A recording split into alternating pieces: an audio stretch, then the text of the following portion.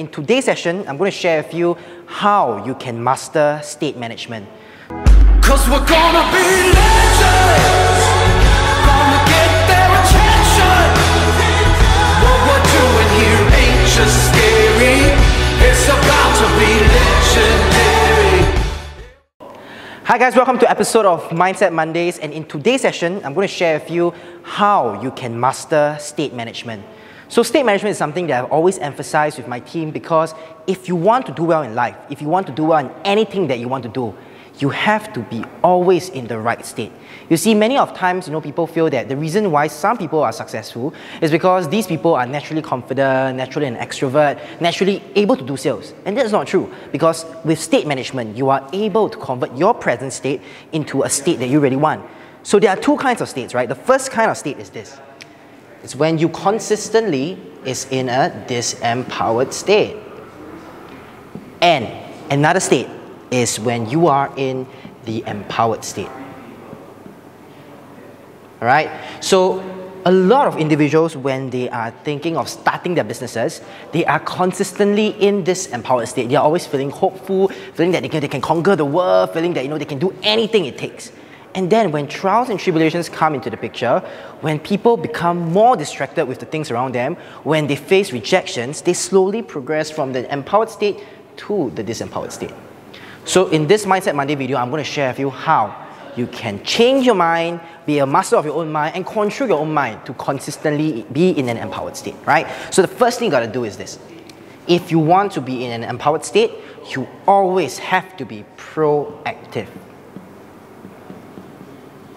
instead of being reactive. Okay, so in order to consistently be in an empowered state, you have to be proactive to the circumstances around you.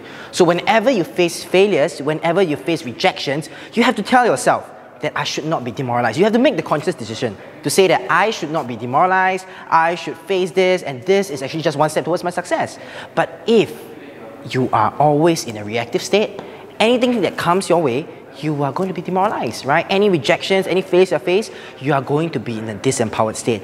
And regardless of whether you are the best salesperson in town, whether you have the God-given talent of being the best entrepreneur in the world, if you are in the disempowered state, you will never be able to succeed in life right? You see, I give an example. I had a story, and that's, that's this, right? Uh, when I was in 2017, when I first started out in the industry, I always tell myself that, wow, if I'm comparing myself to all the more experienced agents in the market, I will never be able to transact a single sale. But that is when I realized that I was in a disempowered state. And when I was in a disempowered state, I can share with you every single time I meet clients, the countless of times I meet clients, I never was able to transact a sale. And that's simply because I do not see value in myself. And when I meet my clients, there was so much fear, uncertainty.